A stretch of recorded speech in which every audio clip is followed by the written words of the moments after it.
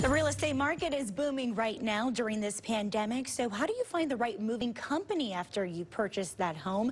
And joining us live this afternoon is Luke Manley of Safebound Moving and Storage to answer these questions for us. And Luke, thanks so much for being here. Luke, can you tell us how business changed from this pandemic, uh, from the beginning of this pandemic to now? Absolutely. Uh, initially in March, when the pandemic began and the community was ordered to shut down, we were considered an essential business, and luckily, we're able to continue to operate as such. Because a lot of our clients were committed to the lockdown, rather than canceling their moves, many called and simply just asked to postpone.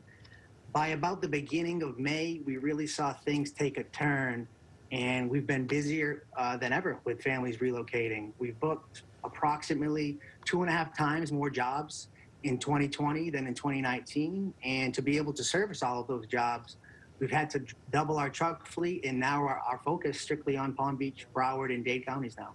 Oh, you guys sound very busy there. Um, can you tell us some of the certain questions people should be asking before hiring a moving company?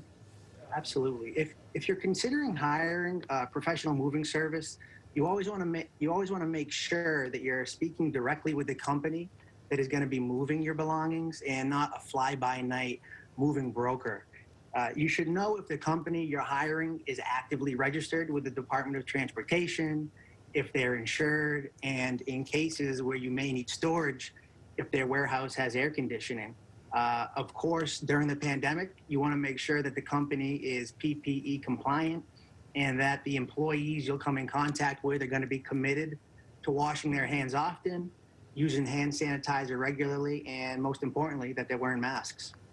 I want to talk about, uh, you know, a little bit about your company and how it uh, really impacts our community. Can you tell us just how uh, you supported the community during this pandemic?